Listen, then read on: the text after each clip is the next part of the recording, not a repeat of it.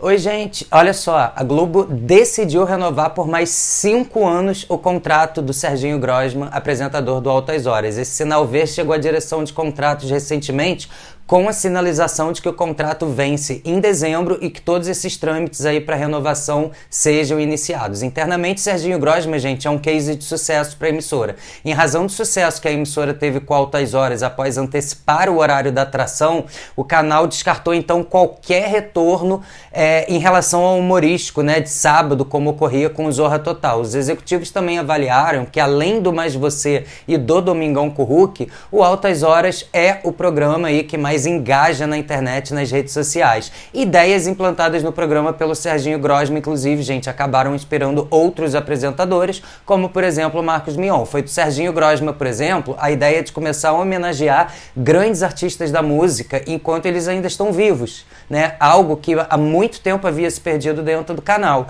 O especial para o Milton Nascimento, entre outros. Isso acabou acendendo a ideia em outros apresentadores. O Mion, por exemplo, a gente viu que homenageou recentemente o Djavan no seu último programa. Segundo fontes então da Globo, tem carta verde para o Serginho inovar, mas segundo essas mesmas fontes, o apresentador decidiu manter o formato de palco do programa nesse formato de palco arena, tudo do jeito que está por hora, naquela linha sem time que está ganhando no semestre, né, nos moldes atuais.